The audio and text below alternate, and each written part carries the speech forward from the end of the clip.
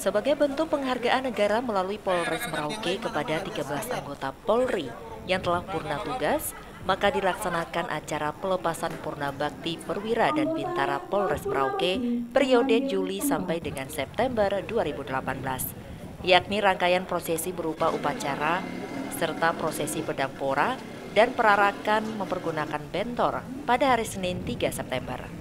Rangkaian prosesi tersebut dipimpin langsung Kapolres Merauke AKBP Bahara Marpaung SH, didampingi Wakapolres beserta segenap perwira menengah dan jajaran anggota Polres Merauke. Juga dihadiri Ketua Bayangkari, jajaran pengurus dan ibu-ibu anggota Bayangkari Polres Merauke. Adapun para anggota purna tugas yang diprosesikan Polres Merauke yakni Komisaris Polisi Luther Taruk, Ajun Komisaris Polisi J. Sabandar, Inspektur Polisi 2 Ferdinandus Bria, Inspektur Polisi 2 Hasim Sulaiman, Ajun Inspektur Polisi 1 Yohanes Topa, dan Brigadir Polisi Kepala Fritz Rahantoknam.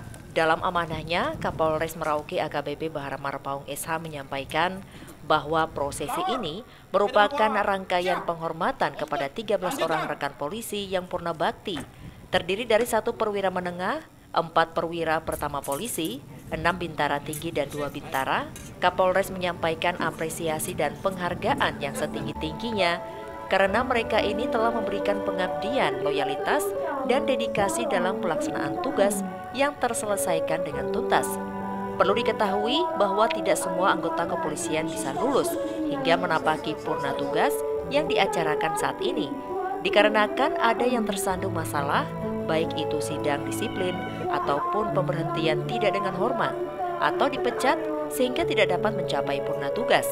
Adapun prosesi ini baru pertama kalinya dilakukan di Polres Merauke dan seyogyanya dilaksanakan setahun sekali. Ucapan terima kasih juga disampaikan Kapolres kepada Wakapolres dan bagian Sumda yang telah meluangkan waktu sehingga acara dapat berjalan. Pertama terkait dengan pelepasan rekan-rekan kita yang purna bakti atau purna tugas. Sebagaimana tadi pada saat upacara kita sudah mengagendakan bahwa hari ini kita melepas 13 orang anggota Polres Merauke yang melaksanakan purna tugas. Satu orang pamen, empat orang pama, enam orang bintara tinggi dan dua orang bintara. Rekan-rekan kita yang 13 orang ini ada yang sudah berdinas 39 tahun, 36 tahun, 32 tahun. Jadi rata-rata mereka sudah di atas 30 tahunan. Kita berterima kasih kepada beliau-beliau bahwa selama mereka melaksanakan tugasnya, pengabdian, dedikasi, loyalitasnya cukup tinggi sehingga mereka bisa mendapatkan hak-haknya yaitu hak pensiun dan pada hari ini sebagaimana tadi upacara dan syukuran kita sudah lepaskan beliau.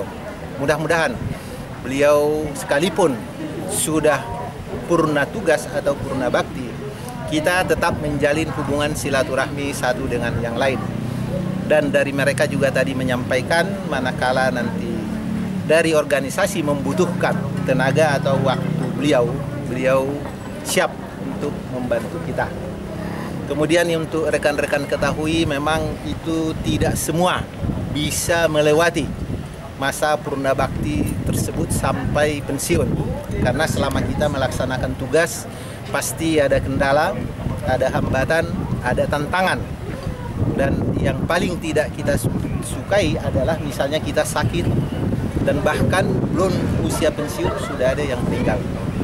Jadi kita bersyukur rekan-rekan kita yang 13 orang itu sudah istilahnya lulus, sudah tamat dan mudah-mudahan sebagaimana himbauan saya juga kepada anggota Polres Merauke secara keseluruhan agar dalam melaksanakan tugas ini betul-betul kesehatan itu kita jaga, kemudian etiket, tata krama, sopan santun dalam memberikan perlindungan, pengayoman dan pelayanan kepada masyarakat bisa berjalan sebagaimana yang diharapkan oleh pimpinan. Kegiatan diawali dengan upacara dipusatkan pada halaman Mako Polres Merauke, dilanjutkan dengan ramah tamah bertempat di Aula Mako Polres Merauke, untuk kemudian dilanjutkan dengan prosesi pengalungan bunga dan pedang pora. Prosesi ditutup dengan perarakan para anggota purna tugas mempergunakan becak motor atau bentor dikawal oleh mobil riders, motor patroli jalan raya yang dikendarai para polwan, rombongan patroli motor serta polisi berkuda dengan rute mengelilingi jalan utama kota Merauke. Tim Liputan Merauke TV melaporkan.